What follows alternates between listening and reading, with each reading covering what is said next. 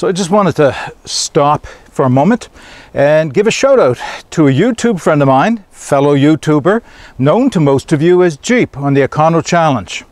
So Jeep has been is actually one of the people that inspired me to get out and make videos. He is in Ontario and he's been making videos for a long time.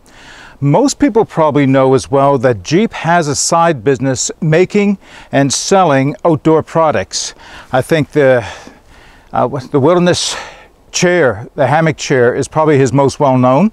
He does have a, a wilderness hammock cot, and he has a few other things, including what I'm wearing on my head.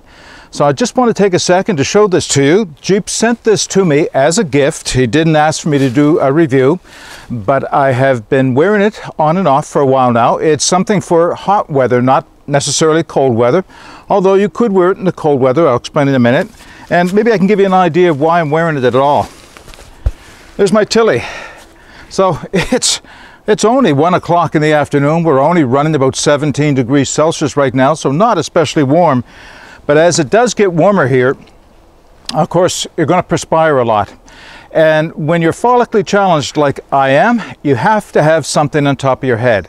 My Tilleys are great, but they can get really hot. So there are times that I'm looking for something a little lighter on top of my head.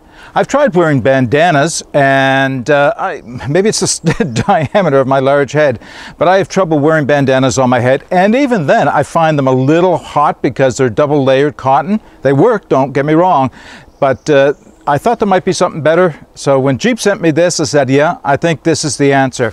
So I'm going to take it off and show you what it's all about. But basically, it is just a covering that goes over the top of my head that allows me to keep the top part of my head from getting sunburnt while still having mesh ventilation on the side and a sweatband around. So let me take this off.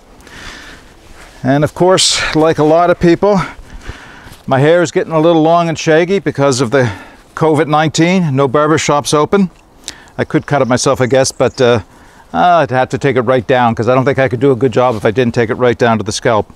So I'm going to give you a bit of a close-up of what it looks like and then I'll roll it back up. So there's a sweatband all around this part of it, mesh on the sides, and a very light nylon top. And light enough, but still heavy enough to protect this, keep the sun from coming through.